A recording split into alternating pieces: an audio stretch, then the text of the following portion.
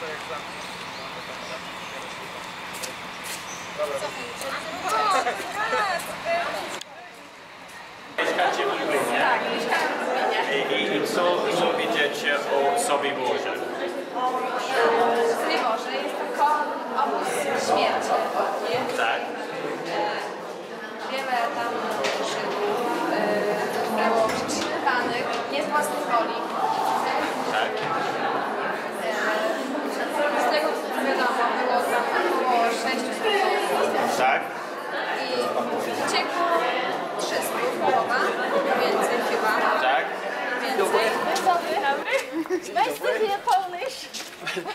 My name is Moshe.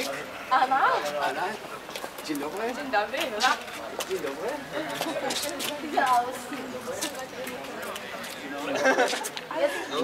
Dzień dobry. Dzień dobry. Come on in. You're more than welcome. Please, please come. Do come in. Dzień dobry, dzień dobry. Thank you. Hello. Hello. Anna. Oh, very difficult. Good morning.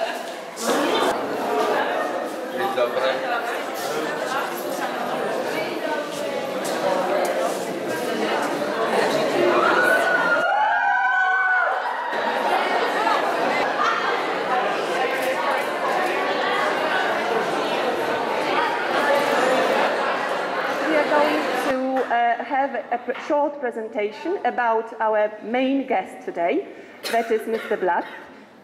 Uh, then we'll ask him to, to talk a little bit about his experiences.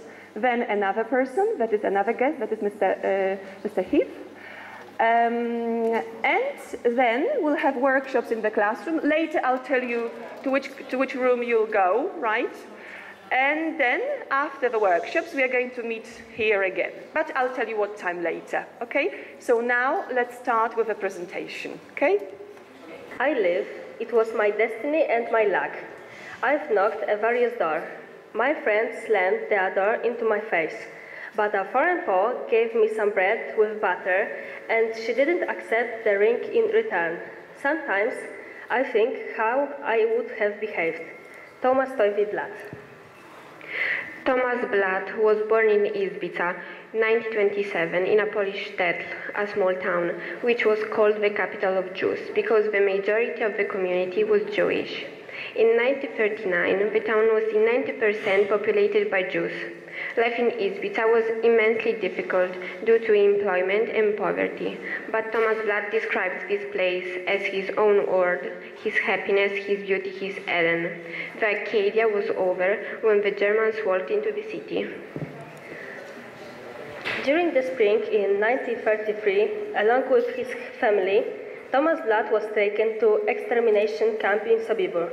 His parents and his younger brother were killed in a gas chamber. He himself survived in a camp workshop. He managed to survive only because of the uprising.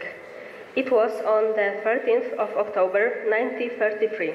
About 300 people escaped from Sobibor then, from which only few managed to survive until the end of the war.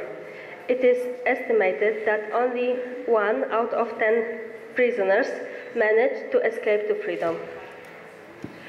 Thomas Blatt is currently one of the last living insurgents of Sobibor camp. When the war was over, Toivi emigrated to the USA, where he raised his own family, arranged his job, and, in spare moments, gathered notes to help him about his purgatory in Sobibor. His memorials first appeared in a Polish magazine, Świat i Kulisy. In 1979, Blatt met with one of the leaders of Sobibor uprising, Alexander Sasa, Sasha Aronowski-Paczerski.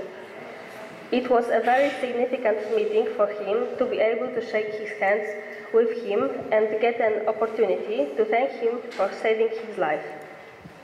In 1983, he was granted a permission to have a three-hour interview with a former SS officer from Sobibor, Karl Frenzel. The recording of the interview, entitled A Confrontation with a Murderer, was posted on the 28th of March 1984 in a German weekly magazine Stern. The same interview was published by Polish weekly magazine Przegląd Tygodniowy and Israeli weekly Haaretz. From the Ashes of Sobibor, it is a fascinating reading revealing the childhood of a Jewish boy living in eastern Poland in a small town Izbica. After that, we read about war, Sobibor, and the author's extremely hard moments after escaping from the death camp. The CBS station was interested in the history of Sobibor, presented by Mr. Blatt. They created a film, Escape from Sobibor, on the base of his book. The film was awarded two Golden Globes and was nominated for Emmy Awards. At present, Mr. Blatt presents part of the film during his lectures about the Holocaust to portray his Sobibor experiences. Mr. Thomas Blatt, after retirement, spends all his spare time gathering knowledge about the Holocaust. It is his life objective. He has the awareness of the short time he is left. However, he is not discouraged by this. Full of energy and optimism, he walks into the airplane and flies wherever he is invited to.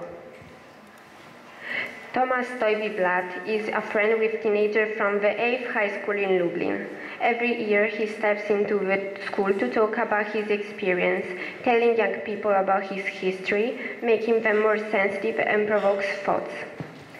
Every time he visits Lublin, Thomas Blatt spends almost every day in Majdanek, where he meets with the visitors of the Museum of Martyrdom, telling stories based on his own experience about people who stayed in this place until the end of time. In Wierzchowiska Palace, during the meeting with Czocek family and their friends, Thomas Blatt talks about his dramatic experiences. Thomas Blatt at the audience with the Pope John Paul II. Mr. Blatt is being interviewed by a journalist from Kurier Lubelski and Warsaw journalist Alan Heath accompanies him during his lecture in Yeshiva in Lublin. Thank you.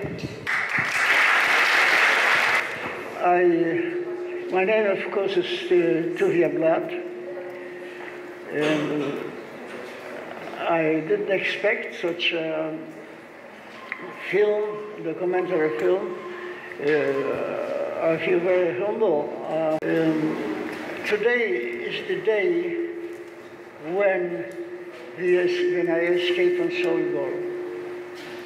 About uh, this time, which is about nine o'clock, I think, I was remember standing close to, I was standing with two friends, and uh, we were discussing what will be, what will, what will be uh, our future, what will happen in a few, uh, in a few hours, because the revolt was set for five o'clock. I, I wonder, I, am talking because this is, this is my payback that I survived. I've talked many places in, in uh, Russia, in Germany, in uh, Korea, Japan. I feel when I tell people uh, about the past, with the Holocaust, I feel like I am doing something, something good. And when I see here in this school, uh, people from Israel coming, being here as guests, and uh, I really uh, am very happy to see it. I escaped, it wasn't so easy. Uh, people ask me, so what's happened after you escape? After I escape, was in the end, because when, when the first minute when I escaped from the camp to the forest, I was up. I didn't care what's happened, what will happen next. The, the, the feeling of freedom in the forest was overwhelmed, overwhelming. But later, you're hungry. You, you need to eat. If I would be a Christian boy, uh, was a Christian boy wouldn't be in a death camp. I would uh, simple, if I would escape, it would happen so. Uh, I could go to any place, to any city, to any village and mix with the people, and I'm a free man. But I was a Jewish boy, where should I go? Which door should I, on which door should I knock uh, to, uh, to beg for a piece of bread? Could be devil open uh, the door to a friendly person who will give me food and even allowed me to sleep over? And could be, uh, they open the door and they just grab me and deliver to the Germans. So everything could happen. So I suffered. Another was hiding in the forest, in the uh, friendly people, Polish people, Christians would give me uh, food. Uh, and uh, until I met a Polish farmer who did agree to help us. We had two boy, three boys. Uh, we should agree that come guys, sleep in my place. I will, I I will hide you, and um, uh, until then to the wall. And uh, he did take, he made a little place in his barn, and uh, after a while, he did come to help us and shot at us. I still have the bullet under the chin here, and I pretended to be dead. And, uh, and I escaped, and I survived. Again, people ask me in Germans when I talk, do, you must hate us. You, must, you, you, you, you hate the farmer probably. You hate the Polish people, the German people, other people. No, it's not true. I think we can forget the Nazi uh, crimes. I am, from mem- I am from memory, so it shouldn't happen again. But we should not hate. It's a new generation, they are not guilty, but we should learn from the past. That's all. Thank you. Thank you very much.